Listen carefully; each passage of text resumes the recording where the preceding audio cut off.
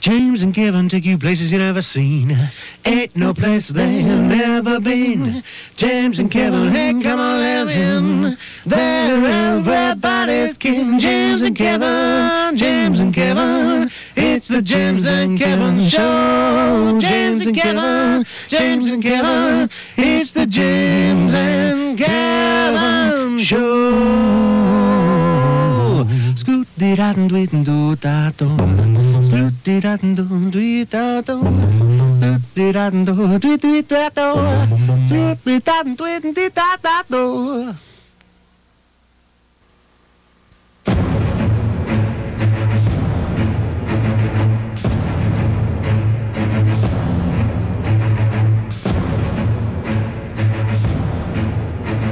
Welcome to the Elevator Show. My name is Douglas Schwartz. I'm your host. Today we are very special to have two of the pilots of the Otis 1.3 project. They are Ward Blipchuk and Mike O'Brien. Gentlemen, 27 floors, way up. How did you feel about it? Well, Doug, it's it's different. It's big. It's um, what can you say? It's it's 27 floors, and It's the biggest uh, elevator ride that's been attempted, but um, I know that, uh, as I've often been told, it's it's really not the size of it. You know, it's it's how frequently you run into dysfunction. well, uh, it's up to me to uh, make sure that we are still progressing upwards in an upward motion as opposed to a downward motion, in which case we could be in a lot of trouble. Uh, if we are going in a downward motion, I uh, have to monitor how fast we're going down and uh, whether it's critical or not that we jump out of the elevator. What is a thrill for you? Why are you doing this? I, I guess everybody has has different reasons. You know, um, I mean, what uh, some people do it for heroism. Like, what's what's a hero? You know, to me, a hero is a sandwich, but it's a sandwich that can save lives. Hi, and welcome to another edition of the Elevator Show. I'm Jib Cab, and with me today is Bradley Patallas, Elvanaut. How you doing? Great. So, what can you tell me? We're uh, three weeks away from the major launch of Otis 1.3. How are you feeling? I'm feeling very nervous. and I'm, I'm so nervous. I just hope we can get it up that day. Excellent. Otis 1.3, 27 floors, a first for this city. How's your family? Uh, they're they're very encouraging. They're uh, they're scared as hell, but uh, you know, I'm doing it for them. So, you know, that's my motivation. I wanna I wanna be there for them, and uh, that's that's why I became an Elvenaut in the first place. Now, I heard they pulled the fire alarms from this one. There are no fire alarms anywhere near this elevator shaft, right. simply because it's a new technology. They're expecting a lot of smoke, so you can take it for granted. Does that make you feel more comfortable or less comfortable that there's one less There's a million alarm? people have put their ideas into this elevator. If they think that having no fire alarm or no fire escape or no life preservers or no air is a good thing, then I'll go along with that. You know, I'm a player in this game. I'm here for them. They're not here for me. Mike, you mentioned uh, heroes, and heroes often face danger, and I'll ask you again, will this be dangerous? You, you keep mentioning that. Uh, like, is- did somebody tell you that it was? Or? No, no, it is 27 floors, never been done before. There must be some element of danger involved. They promised us. No danger. They said that. So I heard you quit your job for this. You had a job that many men would, would die for. right. Madonna's personal massage therapist. You gave that all up to become an Elvenaut. It's a sacrifice. I know it. And being with Madonna was something that, well, not a lot of men, well, maybe I should rephrase that. Uh, being in a position uh, with Madonna is something that a lot of men, well, maybe that's not right either. Uh, well, you know, I, I, there's other things to do. I get motion sickness very easily, and uh, it set in. And uh, after having a big lunch and uh, brunch and breakfast and uh, late night of drinking, I, I, I threw up. And uh, doctor said it was quite quite uh, acceptable for me to do so. It, it's not unusual in that sort of situation. Gentlemen, as Elvenauts, our viewers want to know a little bit more about your personal lives. Uh, what do you do when you're not uh, Elvenauts? Uh, When I'm not actually at the office being an Elvenaut, I am uh, an Elvenaut impersonator. Just go out on the circuit, you know. And people like to see what they think is the real thing, you know. Like you get on an escalator and you take that up and stuff, and the kids love it. Well, basically, I am there to support the other players. Uh, the biggest role I'll have is uh, I get to press the up button. The up button. But there's so many buttons there. Do you know that at that critical time you will find the right one? That's why we're going through so much rigorous training. Uh, I mean, from what I understand and from my experience is that uh, there will be a triangular shaped arrow pointing in the direction of up. And uh, for me, uh, my job is to, at the right time, uh, Kevin will give the word, we will actually have me press that button and uh, and it should light up. It, it- everything goes well. We should light it up, and uh, that'll be the starting point. That'll be the takeoff. That'll be the gusto go. Up we go.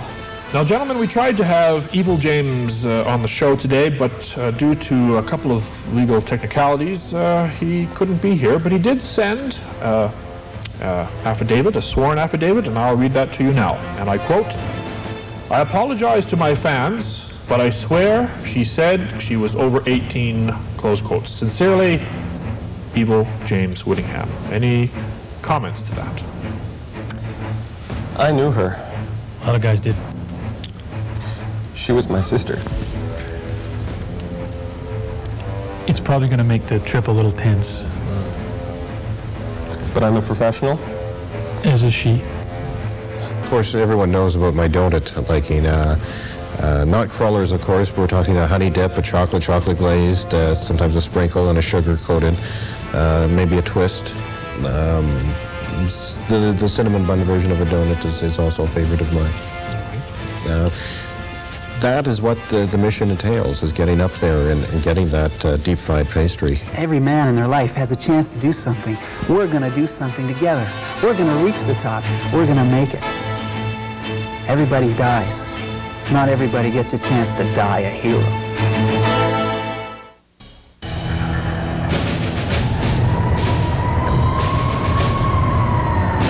At least get an ointment or something for it.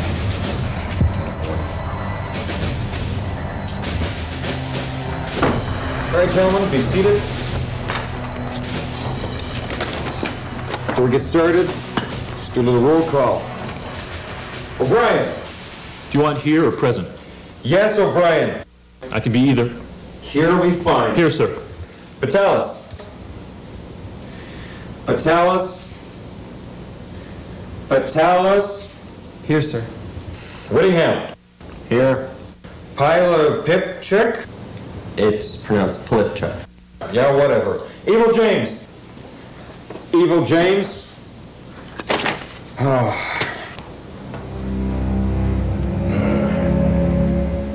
ah, good. Come on in. All right, men. There's no easy way to say this, so I'm just going to be blunt. Tomorrow's show will be the last one. Our ratings have been sagging. Because of that, the elevator show has been scrubbed. It's a no-go.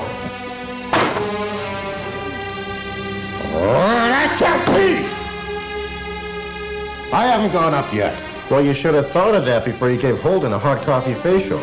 Shut up, vomit boy. What are we on the second floor? Getting a little nauseous? A little high up for you? You look a little white there. Maybe, maybe, maybe you think the room is spinning, huh? Maybe the cable gauge is too small. Don't say that. It was the wrong gauge. All right, knock it off, you two, damn it! Knock it off! Now let's go over tomorrow's itinerary. Well, men, this being our 13th mission, I don't expect any real problems. We're a well-oiled machine, so we'll just run an abbreviated facts check today. All right? Now, if I were to press this button, where would I end up? Patallas? Four, sir. Good work, Patallas. I knew if you put your mind to it, you'd come through. Well, I took your advice, sir. I quit my job to devote all my time to training. And it paid off, didn't it? Well, since you're on a roll, Patallas, what if I pressed this button? Where would I end up?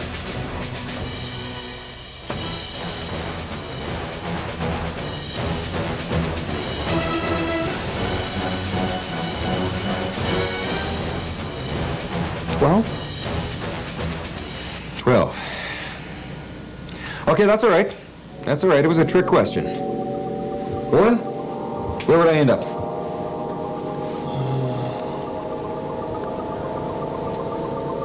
That would be 12, sir. 12. All right, James. Where would we end up? Well, sir, it depends on the thickness of the gauge of the cable. The thickness of the gable. It's a variable, see? Inversely, the thickness. Right. Well, O'Brien, you gonna step up to the plate and take a swing? Um, I thought the first guy was going to get it, so I wasn't paying attention. Okay. Evil James, you take a shot at it. Damn it, Warren, go get Evil James.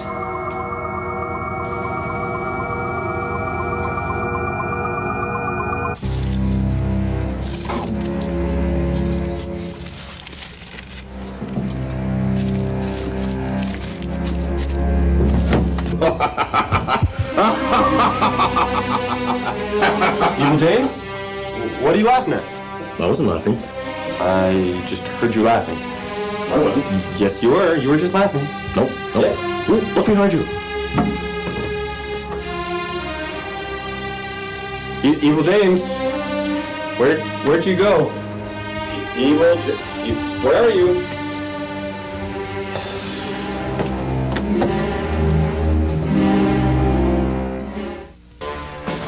I just hope when we get to the top, the crullers still have that just deep fried smell I know and love. Now screw the colors, man.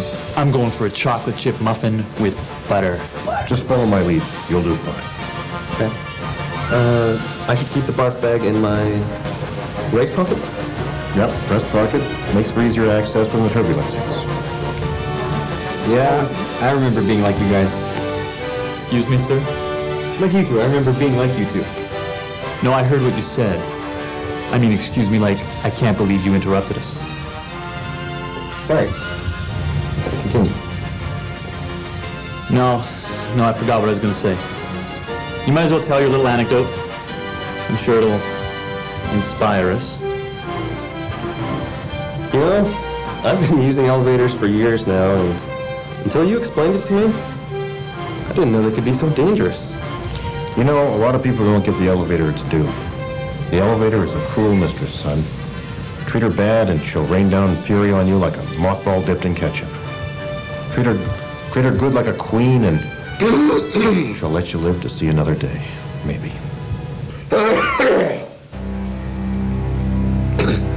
That's when I dropped the pillow. Look! What? James's lunchbox. Is that a Pop Tart? Well, the, the wrappers. Uh huh. Burritos. Right. Bean burritos. Yeah. In James's lunchbox. Mm hmm. No, an elevator, a confined space, bean burritos. James, beans. I don't get it.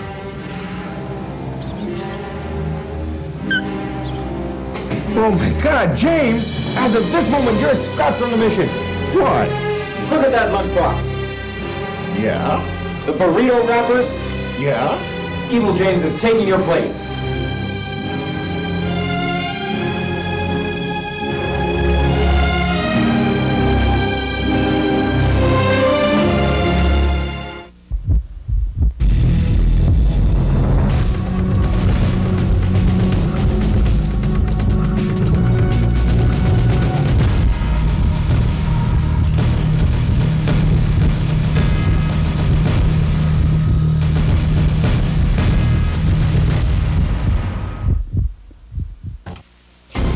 Commander Evil James, prepare for go, no-go sequencing. Roger that. Door open. Roger. Door closed.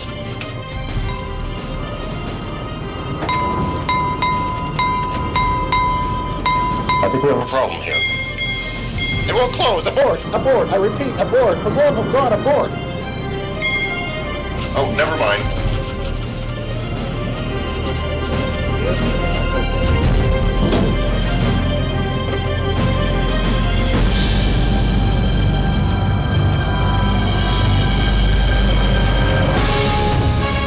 I thought she wouldn't get it made in time. What's that? His wife knits him on every show.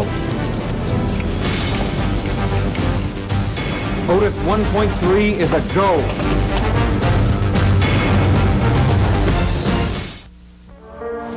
On the Otis 13, I'll find her myself.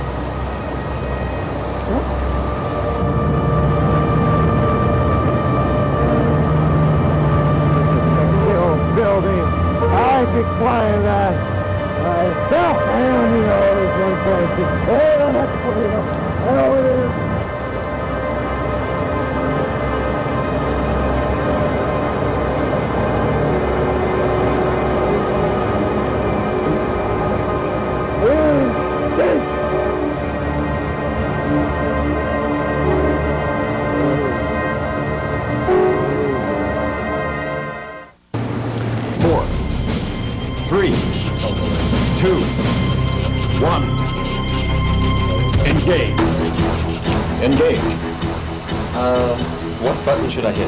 To tell me you don't know which button to hit? Yes, sir. O'Brien, how about you? I'm not really paying attention, sir. Patallas, how do we go about engaging? Well, each relationship is different. Uh, usually you become friends first before making any That's not what I meant. How do we get this thing going up? That's what I was talking about. Otis 1.3, what's wrong? Nothing. Everything's fine. Over. Just press the up button. Uh, roger that.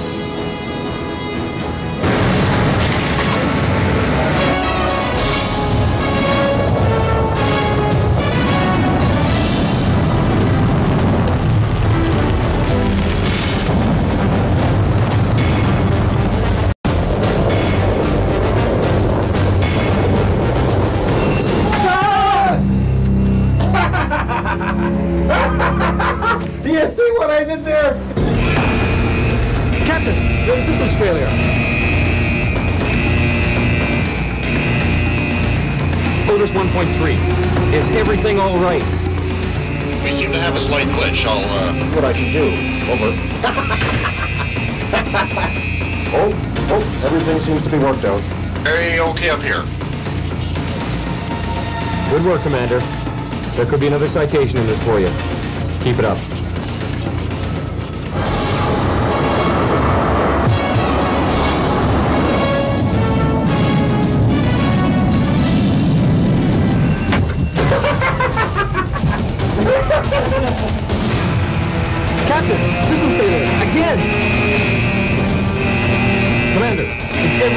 Okay?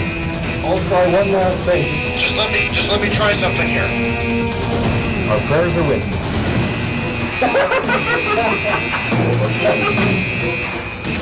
you did it! I was doubting the choice of you over James, but Now I see I made the right decision. See you at the top. Roger that.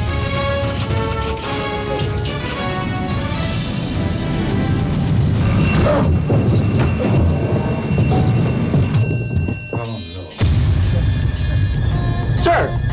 lit up like a Christmas tree. I've got no readings from any of the sensors.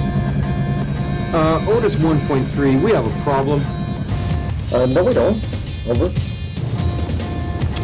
Otis 1.3, we have massive system failure across the board. Oh, everything's fine here. Nothing to worry about. Sit tight. We have to evaluate the situation.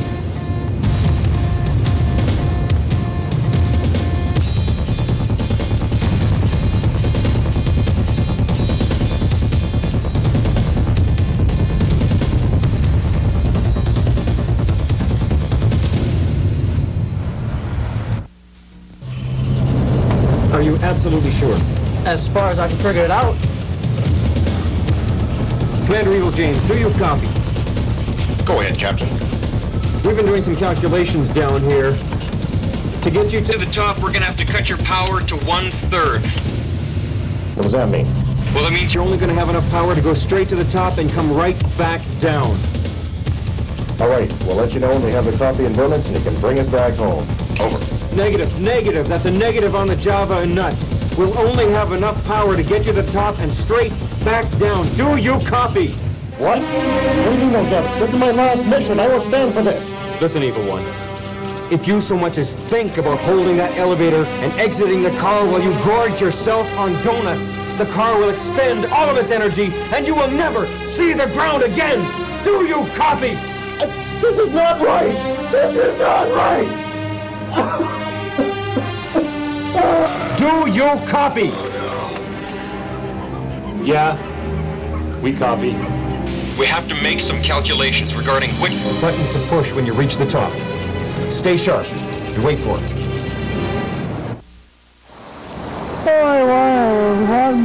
God,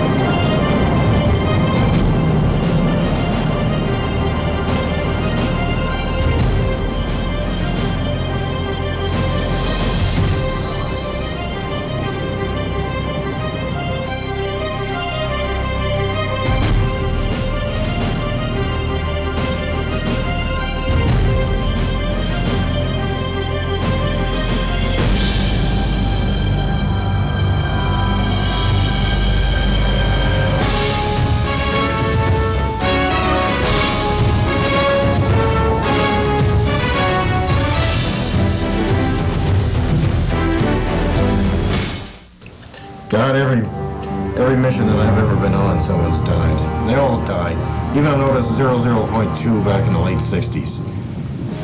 It was monkeys, strictly monkeys. They didn't put humans in elevators back then. I think they knew what they were doing.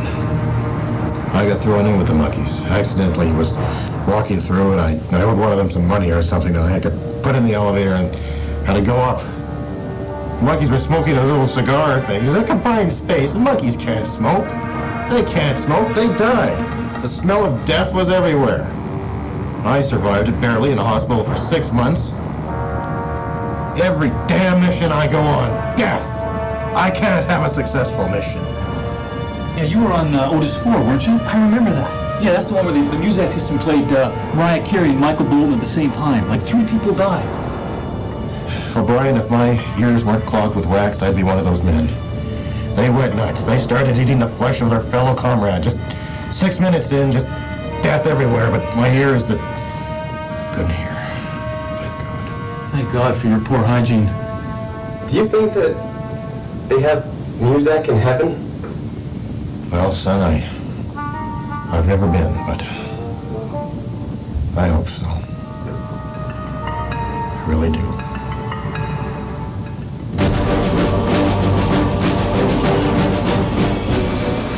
Allardyce, what the hell is this? It's Otis 1.3, sir. She's in trouble. What kind of trouble? There's barely enough power to bring her back down, sir. And we're having trouble calculating which button to press at the apex to bring her back down.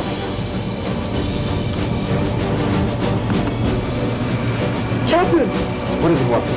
if we don't figure our ways to lighting them in by at least 27 pounds, they're going to slam to the bottom of the shaft at 300 miles per hour. Damn it! When are they gonna stop building them so high?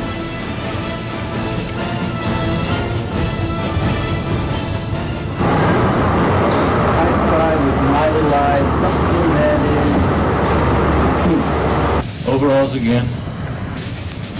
Yeah. Overalls again. Overalls. Blue. Hey, uh, I spy, my eye, something that is like a light blue. Your overalls. We're coming up to the apex, sir. How close are we to finding out which button to press? Uh, I'll have to figure that out, sir. Do you want that in seconds or minutes? Oh, forget it. Otis 1.3. Do you copy? Roger, go ahead. Over, Roger. You're coming up on the apex. We're Still having trouble with the calculations. Stay tuned. Roger that. Over. Roger. Ah, deep fried pastry and delicious fat, eh? No, no, negative. Whatever you do, don't leave the car. You'll never see the ground again. Do you hear me? Don't leave the car. Uh, roger that. that Kevin, what a kidder. I'm just gonna go, uh, you know, I'll get the donuts. You guys stay put and I'll be right back. Hey, he, he said to stay put. Yeah, I heard him. Look, listen, Kevin's quite the drinker, right? You can't really trust him. He's, uh, he's probably on the bottle right now.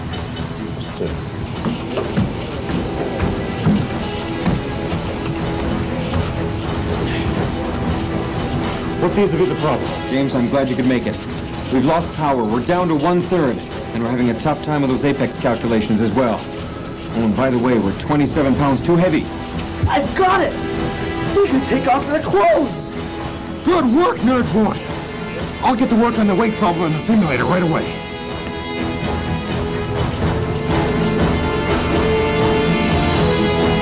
Twenty seconds to apex, sir. Captain, what are we gonna do?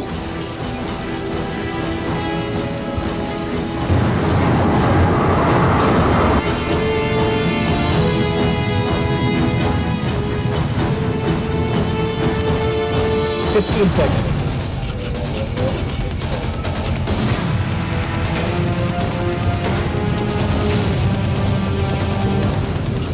Ten seconds.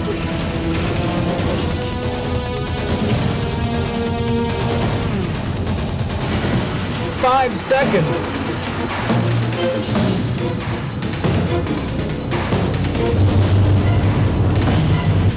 Apex.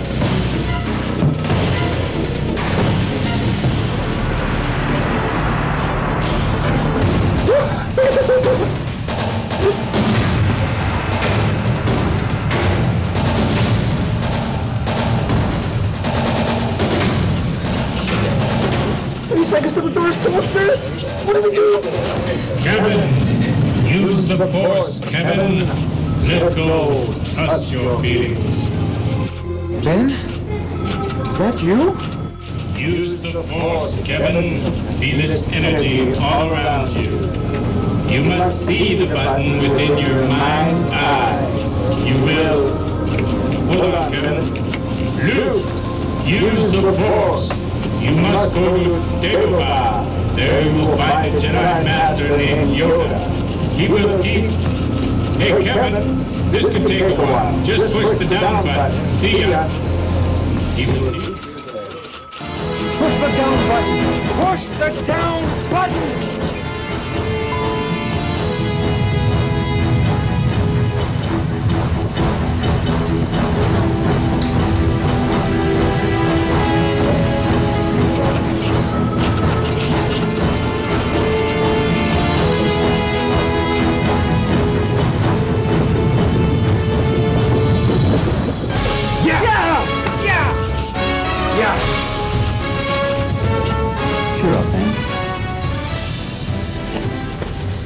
Other donuts.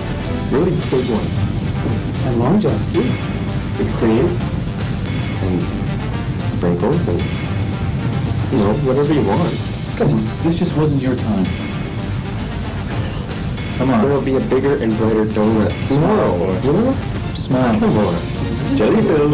Jelly. Smile. You know how you like the cherry jelly. Show it to Come on. Show it. Um,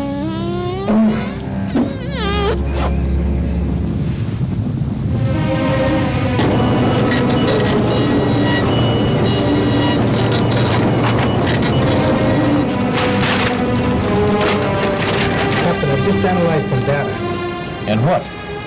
The air, it's going bad. They've only got about 10 minutes left. What the hell could be causing this? The data shows that the protein readings are, are off the chart. Protein? What on earth could be putting enough protein in the air to make it go bad? Beans, sir.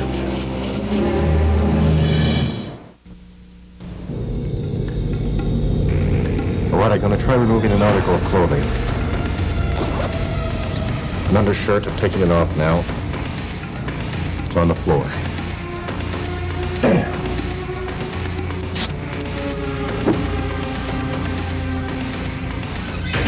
I want to see if a shoe will work.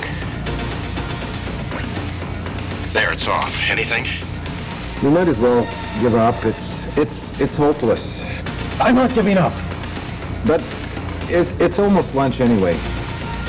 Oh, you're right, it's hopeless. Here, hold this. Wait a minute. The, the scale, it, it moved. Wait a minute, that's it! If we can somehow get some of the weight off the elevator car, we'll surely lighten it. That's the key. Silent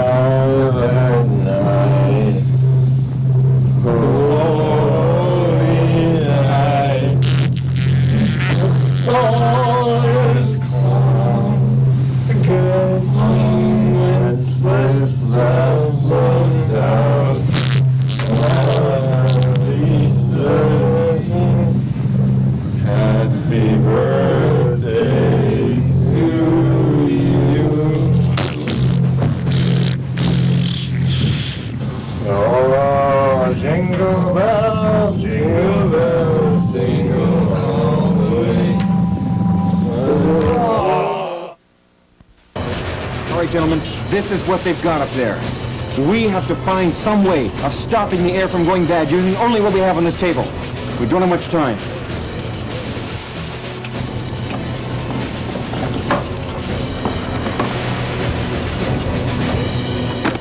That's it! That'll work. Mike, do you copy? Mike, come in. Mike, do you copy? Mike, come in. Yeah, I copy. Go ahead. Listen very carefully. We found a way Way to stop the air from going bad, but you don't have much time. Move a little bit closer to the speaker.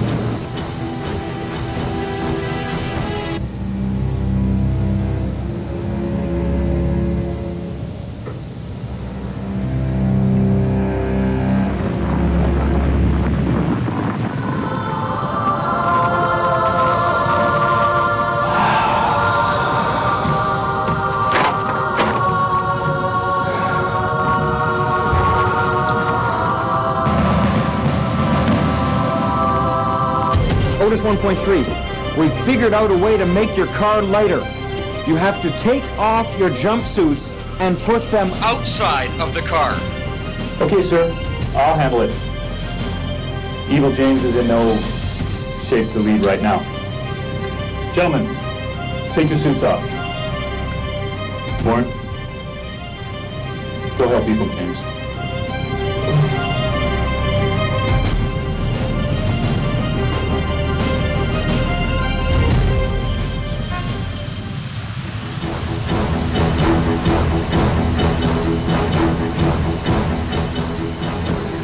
News, Captain. I've got the situation under control. That's great, Mike. What did you do with the clothes? I put them on the roof. Good work, Mike. There could be a medal in this for you. Really? All right, Mike. You guys will be hitting the third floor in about 10 seconds. We're going to lose you for a couple of minutes due to... The thickness of the cement. If all goes well, we'll meet you on the ground floor. See you on the other side, Captain. Hey, good work in there, Mike. I'm proud of you. Just doing my job, sir.